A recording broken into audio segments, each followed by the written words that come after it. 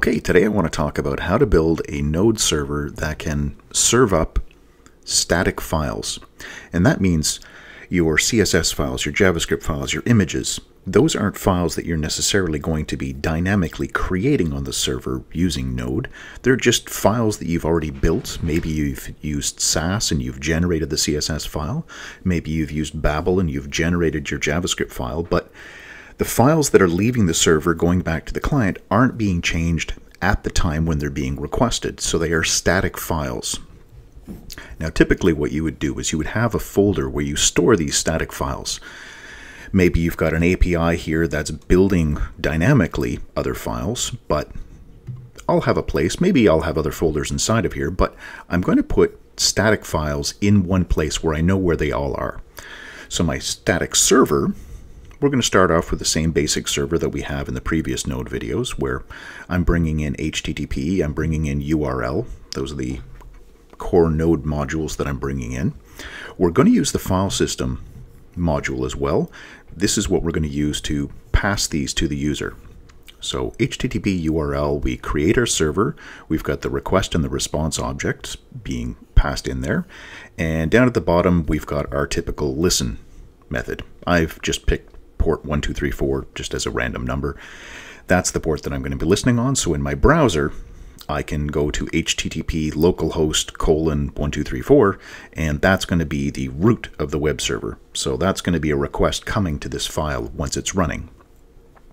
Okay, I'm going to be taking the URL that's passed in through the request object. I'm going to call the parse method on the URL object, and since this is the only thing that we're using here, we could, if we wanted, just do dot parse and then have a parse word right here, a variable called parse, and then that's the parse method that we're calling here. That would be another way of doing this. I'll show you again with another import how we could do that. In any case, we're getting the URL this is going to be what comes after HTTP colon uh, HTTP colon localhost colon one two three four. Whatever comes after that, that's what we're going to be getting with this parsed URL. Now, that could be a slash. It could be a slash and a word and another slash. It could be a series of slashes. It's paths and file names. That's what the parsed URL is going to be. Now, what I'm going to do to just sort of standardize that I get the same thing every time, I'm going to strip off any slash at the beginning and any slash at the end. And that's what this next line does. I'm doing the replace method on the string, and this is a regular expression to say, okay, anything that begins with one or more forward slashes or ends with one or more forward slashes globally, meaning Keep searching till you find them all at the beginning or the end and replace them with nothing. So I'm stripping those all off. That means I'm going to be getting requests that don't have a leading or trailing slash. Okay, that's just to standardize things. Now, I'm going to check and see if the path is empty because maybe the person did a request and said, okay, I want to get the path this, or I want to get the path index.html, or maybe they passed in nothing at all, or they're going to say I want main.css, or I want main.js, or an image. These are all the possible values that I'm going to be responding to within my code. So for the cases where it's blank, or it was just slash and we stripped the slash off with this replace method, I want to check for that. And if it is that, I'm going to change my path. I'm going to take this variable, I'm going to rewrite it as index.html. To say, okay, if you haven't given me a file, if it's blank or it's just a slash, I'm going to give you index.html. All right, so that's our request for the root. I'm going to log out for myself in the console. This is the thing that was being requested. And then I'm going to use my global variable that's available in node dir name. It's going to give me the path up to this folder that I'm in. And then I'm going to add public, and then I'm going to add path. That's the actual file that's being named. So these ones right here inside my public folder. The user doesn't know that they're in a public folder and they don't need to know where they are. It just, for my code, this is where I'm going to get the static files. Okay, now the file system, I'm going to use the async method, not the synchronous method, because I don't want to wait, force all subsequent requests to wait for the first one to be processed, I'm going to make it asynchronous so the request for the file can be set aside and processed while I'm dealing with the next possible request. All right, now inside of here, we have the file is being passed in. That is the full path for the file that we're going to return. And then the callback function, this is the asynchronous callback function. When that is completed, it's going to come back to the main JavaScript stack and it's going to be processed. If there was an error, I'm going to do this. I'm going to log out for myself in the console that, hey, there was an issue um, when this file was requested. And then back to the client, I'm going to send a 404 error and no content whatsoever. So let's test that one out. So I'm going to save this and we're going to open up our terminal. There we go. And we're going to run the server. There it is. We're listening on port 1234. Now I can jump over into the browser. Here we are. And I just refresh this. So localhost 1234 with nothing requested. We're getting our index.html. But if I requested something that didn't exist, this is what we're getting back. So let's clear that and we'll run this one more time. There we go. We sent back a 404 error message when we requested this. Here's the 404 error message coming back. Now, if I click on this request, we can look at it. We can say a request for this URL was sent, 404 came back, but there was no content in the response. There was no content that came back. It was just a 404 error message. So what Chrome does what browsers do is they've got this default content that they're going to display. If they get a 404 error message back, this is what Chrome displays. Now, there's a whole bunch of things inside of here. There is a PNG file for this image right here. So this is a uh, an image.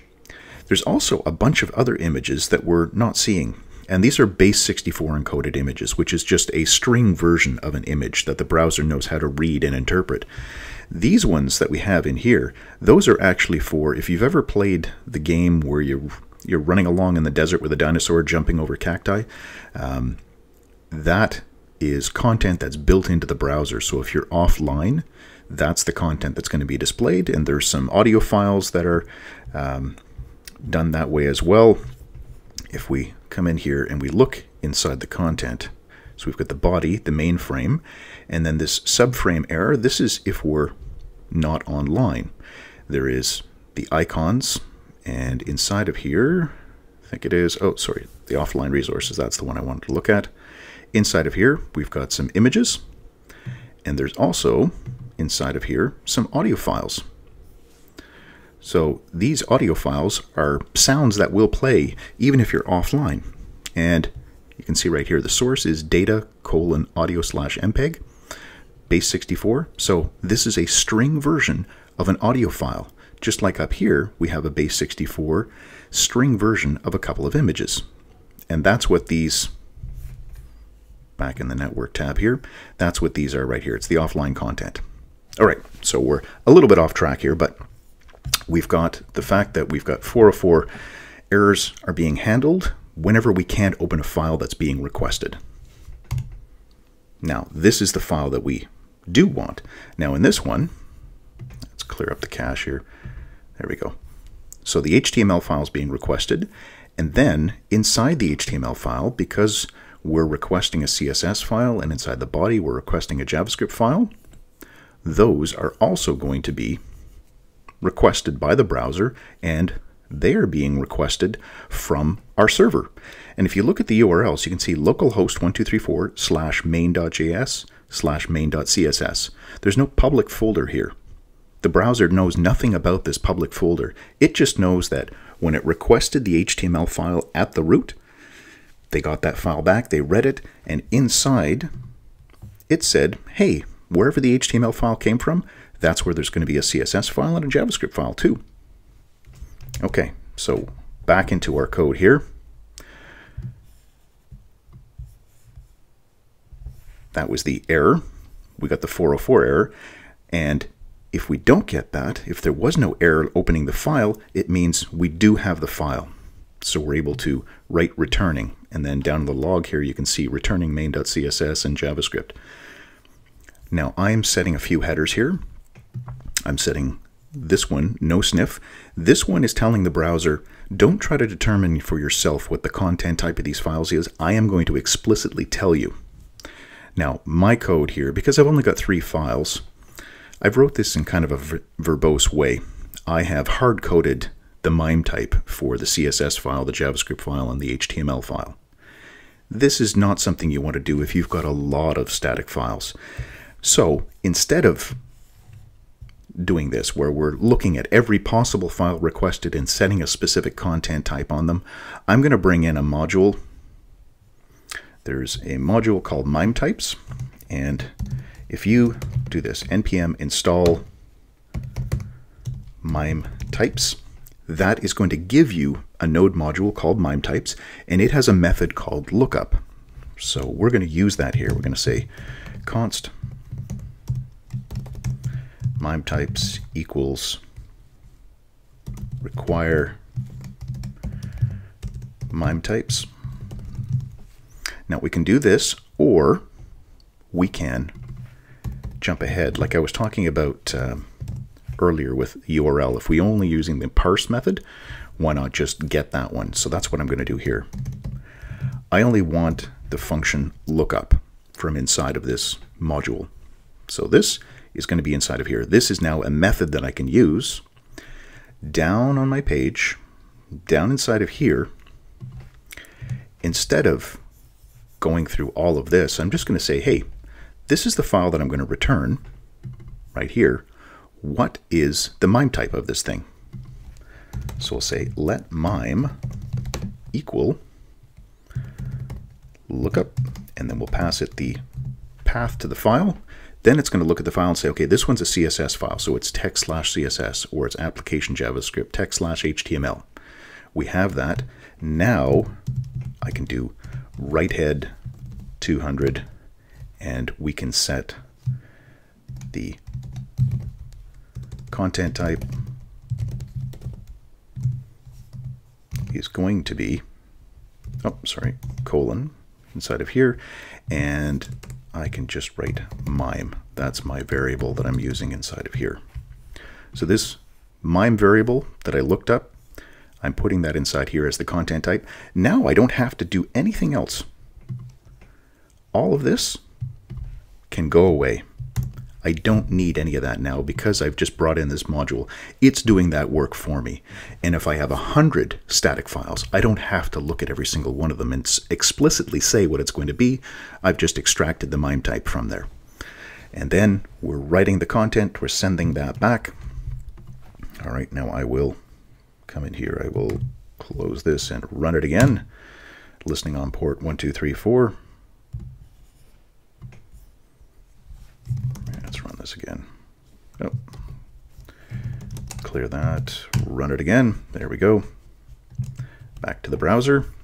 Now if I do slash enter, there's my HTML, and then my JavaScript runs. That's what's turning it from the gold to the purple. If I request main.css, there it is, there's the CSS. If I ask for main.js, I get my JavaScript file. I ask explicitly for index.html. There it is. So this is all working. And that is how you can return static files. So we have the MIME types that we've added in. We used npm to add that to our project. Uh, I know my node modules folder doesn't show up inside of here. That's I've just got it hidden uh, in VS Code. But the rest of it is just a basic server the HTTP create server method. We strip out the path to find out what it is that we're looking for, and then we're using the file system read file. If we do find it, so if there is no error, we use that lookup method to find out the MIME type so we can write the appropriate header, and this is best practice for security. You do always want to send the MIME type back. And then just writing out the content. All right, so I hope that helps you out. If you have any questions, feel free to leave those in the comments. And as always, Thanks for watching.